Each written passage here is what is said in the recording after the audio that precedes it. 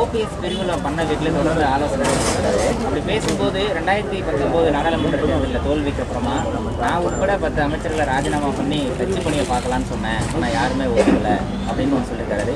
இன்னொரு சவாலும் விட்டுருக்காரு இப்போ இருக்கக்கூடிய கட்சி பதவியில் வச்சு தொண்டர்களை வந்து சந்திக்க முடியுமா அப்படின்னு எடப்பாடி பழனிசாமி ஒரு சவாலையும் கூட வெளிப்பாடு அதாவது கடந்தெடுத்த பொய்ன்னு சொல்லுவாங்க. ஆனால் ஜம்மு காலத்தில் வடிகட்டின பொய் கேள்விப்பட்டிருக்கீங்க இல்லையா? அது மாதிரி ஜம்மு காலத்தில் வடிகட்டின ஒரு பொய் இது.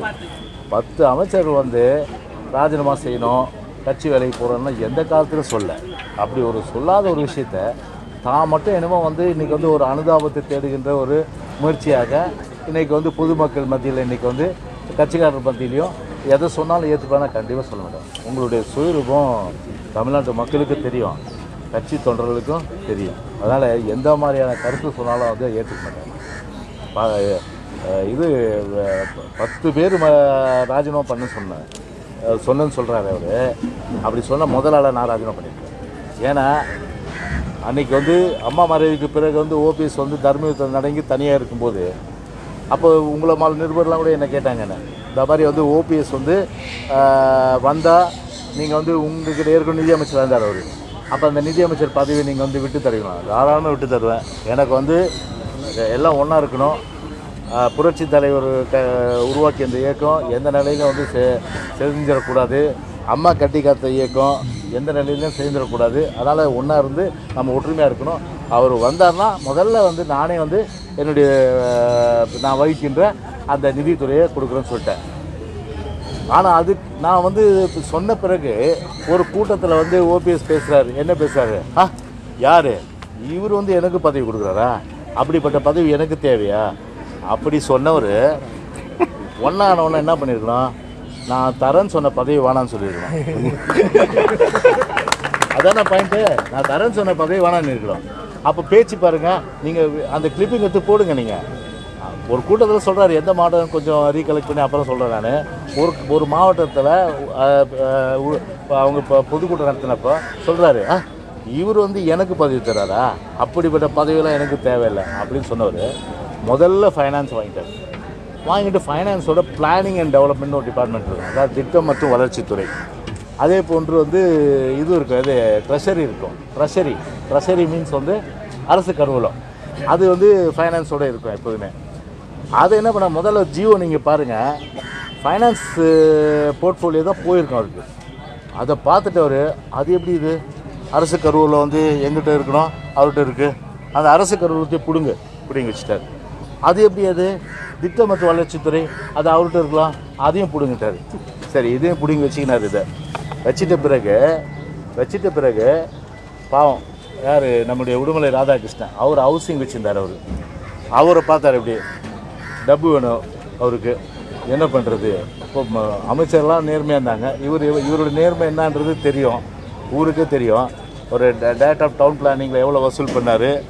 அப்புறம் சிஎம்டியில் எவ்வளோ வசூல் பண்ணார்?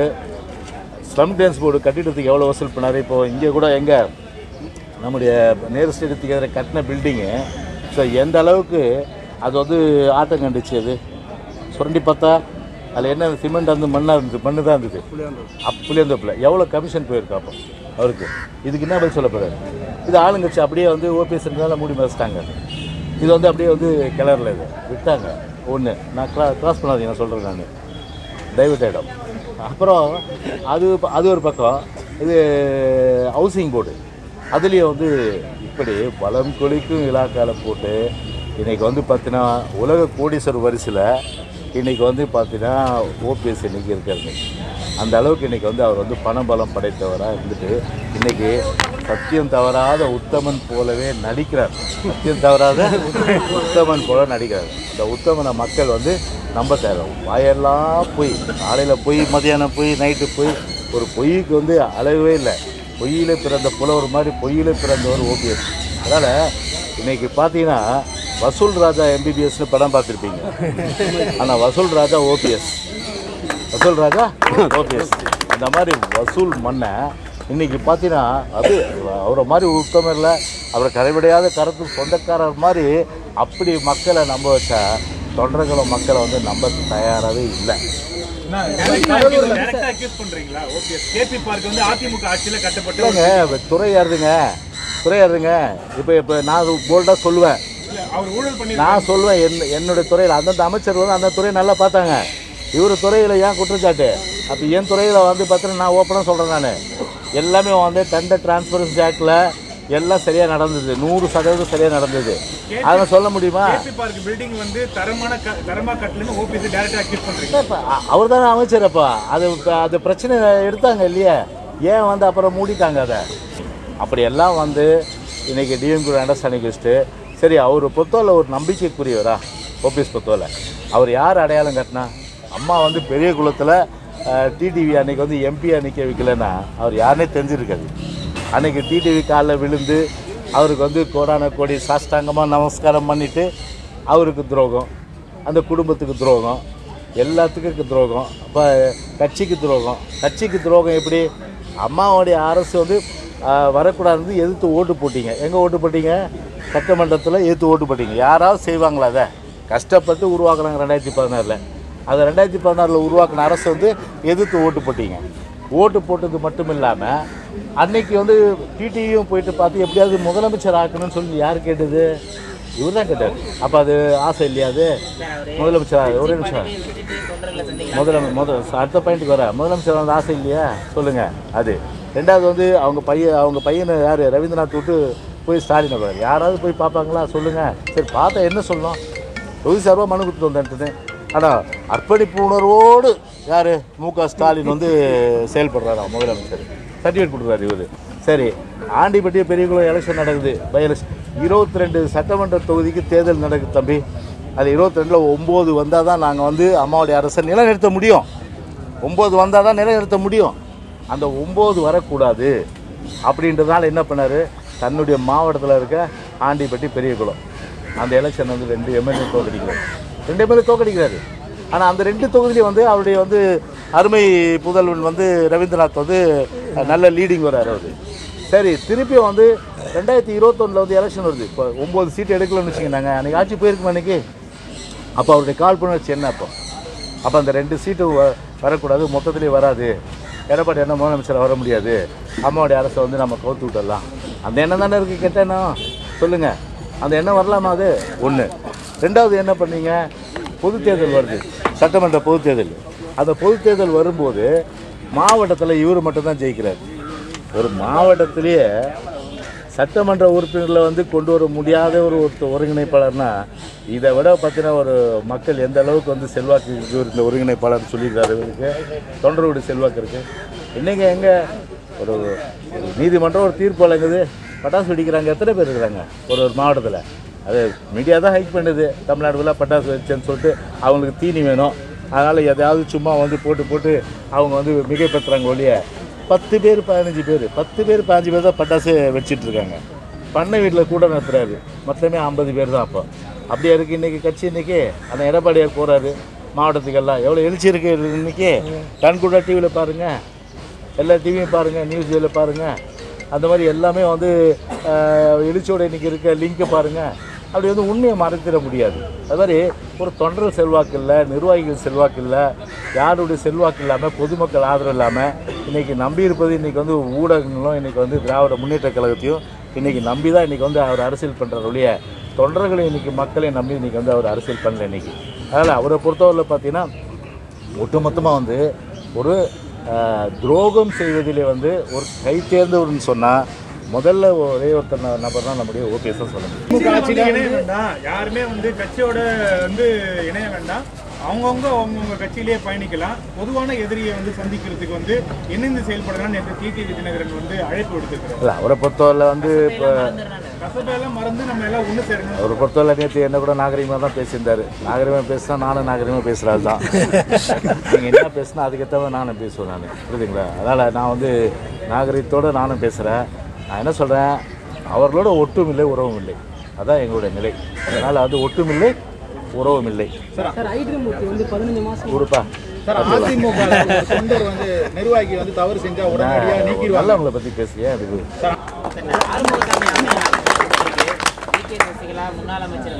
அப்புறம் இவர் சொல்கிறாரு நாங்கள் வந்து இப்போ ஏன் வந்து இது மாதிரி பூட்டினோம் பொதுவாக வந்து அன்றைக்கி இவர் போனார் இன்றைக்கி பொதுக்குழுக்கு. இவர் ஏன் போனோம் அன்னைக்கு பொதுக்குழு பொதுக்குழு நடந்துட்டு இருக்கு பொதுக்குழு நடக்கும்போது இல்லை பொது பொதுக்குழு நடக்கும்போது பொதுக்குழு தானே போனோம் அங்கே பொதுக்குழுக்கு போகாமல் பெரிய அளவுக்கு வந்து பார்த்தீங்கன்னா அந்த குண்டர்கள் படையோட. இன்னைக்கு என்ன சிபிசிடி கேஸ் போட்டிருக்கா இல்லையா இன்னைக்கு? இன்னைக்கு? அப்போ வந்து அஃபென்ஸ் பண்ணியிருக்க தானே அர்த்தம். அப்போ குற்றம் பண்ணியிருக்க தானே அர்த்தம் அப்போ? சிபிசிஐடி இப்போ நாங்கள் நீதிமன்றத்துக்கு போன பிறகு தானே இவ்வளோ வெளியே வருது.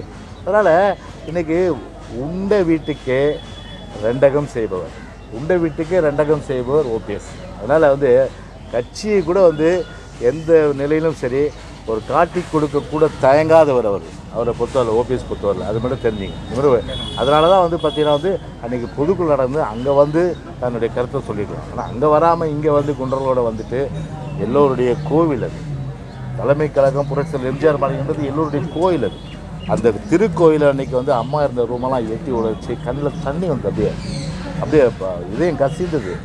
அப்படி வந்து ஒரு ஒரு மனம் வந்து கஷ்டப்படுகின்ற ஒரு நிலைமை. இது வரலாற்றில் வந்து இப்போ எழு எழுபத்தி ரெண்டில் ஆரம்பித்த அந்த இயக்கத்தில் இவ்வளோ காலம் ஓடி இதுவரையில் பார்த்தீங்கன்னா அந்த மாதிரி சம்பவம் நடந்தது. ஆனால் அந்த மாதிரி ஒரு ஒரு கருப்பு வரலாறு ஒரு கருப்பு அத்தியாயத்தை இந்த மாதிரி ஓபிஎஸ் ஏற்படுத்தது. வரலாறு மன்னிக்காத அனைத்து இந்திய அண்ணா திராவிட முன்னேற்ற கழகம் எந்த தொண்டனும் நிச்சயமாக மன்னிக்க மாட்டேன். அமைச்சரவை கூட்டத்தை முடிஞ்சதுக்கு அப்புறம் ஒரு அறிக்கை ஒன்று கொடுத்திருக்காங்க. ஆறுமுகசாமி ஆணையத்துடைய அறிக்கை தொடர்பாக அமைச்சரவை கூட்டத்தில் விவாதிக்கப்பட்டிருக்கு. அதுல அப்போ அதிமுக ஆட்சியில தலைமைச் செயலாளராக இருந்த Ramamohan Rao V K Sasikala doctor Vijayabaskar இவங்களெல்லாம் விசாரிக்கிறதுக்கு வந்து அறிவுறுத்தி இருக்காங்க இது எப்படி பாக்குறீங்க அப்போ ஆனா முதலமைச்சராக இருந்த ஓபிஎஸ்க்கு வந்து அந்த பேர் அந்த பட்டியலில் ஓபிஎஸோட பேர். தம்பி நீங்கள் தான் அவர் வந்து ஆரம்பசாமி வந்து இன்டர்வியூ பண்ணீங்க. நல்லா தெரியும். நான் பார்த்தேன் நான் இந்த பேச்சை. ஒரு கமிஷன் ரிப்போர்ட் வந்து கவர்மெண்ட் சப்மிட் பண்ணிடுச்சு பண்ணிட்ட பிறகு அதை கவர்மெண்ட்டில் சப்மிட் பண்ண பிறகு கவர்மெண்ட் வந்து கேபினெட்டில் ப்ளேஸ் பண்ணி அதில் சட்டமன்றத்தில் ப்ளேஸ் பண்ணி தான் அது பொதுமக்களுக்கு தெரிய வரும். அது பிறகு தான் நான் அஃபிஷியலாக எந்த கருத்தை நான் வந்து சொல்ல முடியும் நான்.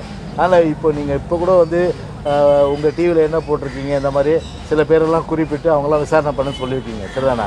ஆனால் ஒரு அஃபிஷியலாக தெரியாத விஷயத்தில் நான் எப்படி போய் கருத்து சொல்ல முடியும்? அதனால் முதல்ல அஃபிஷியலாக ஸ்டேட்மெண்ட் வரட்டும். வந்த பிறகு கண்டிப்பாக நான் ரியாக்ட் பண்ணுறேன் உங்களுக்கு எஸ்பெஷலி ஒரு பிரத்யேக பேட்டி கொடுக்குறேன்.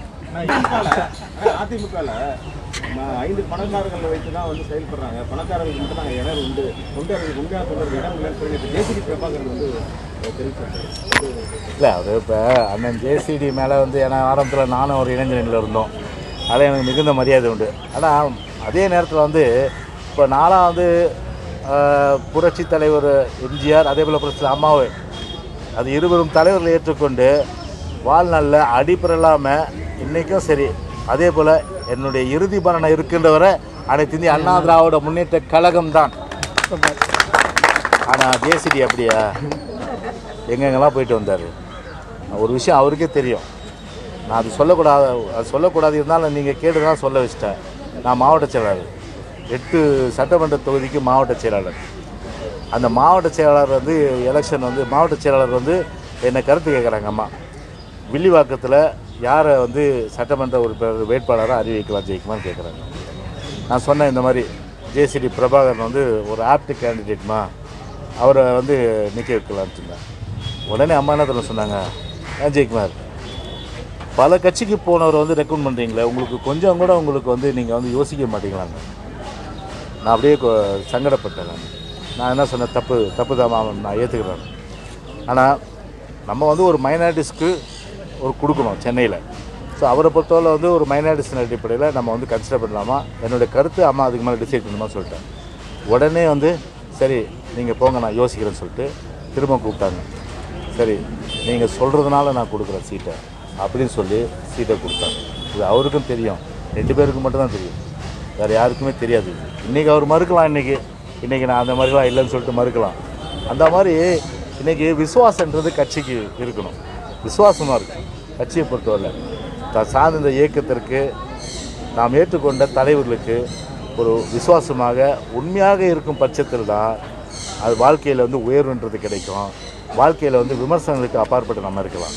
அந்த விசுவாசமே இல்லாமல் நம்ம பேசுறது என்பது நாட்டு மக்கள் நிச்சயமாக தொண்டர்களை ஏற்றுக்க மாட்டாங்க. அது என்னை பொறுத்தவரை சரி அன்னைக்கு இருக்கிற விசுவாசம் தான் இன்றைக்கும் இன்றைக்கி இருக்கிற விசுவாசம் தான் கட்சிக்கு நாளைக்கும். ஆனால் அவரை பொறுத்தவரை அப்படி இல்லை. அதனால் அதை வந்து பெருசாக எடுத்துக்கூடாது ஓகே உடனுக்குடன் செய்திகளை தெரிந்து கொள்ள சன் நியூஸ் பெல் ஐகானை கிளிக் பண்ணுங்கள்